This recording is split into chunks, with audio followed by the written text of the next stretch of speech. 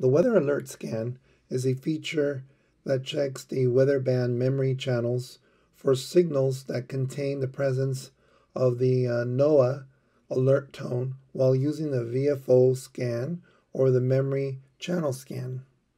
So to activate it, let's click on display, click and hold and display.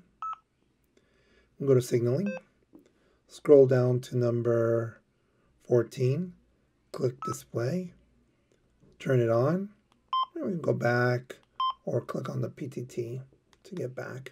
All right, so let's say I was looking at, um, I don't know, the 440 band, right?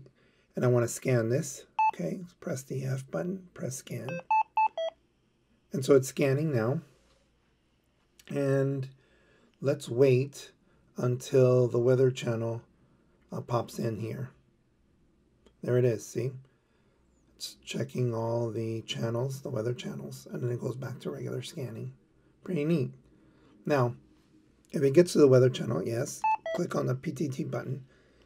And now you can go to the, you know, the channel that you want to hear. Plus, if you click on the band, you can get the SWs, the weather channels, right?